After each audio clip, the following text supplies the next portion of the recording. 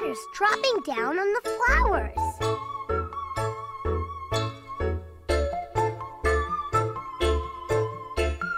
Every drop of water helps the flowers grow.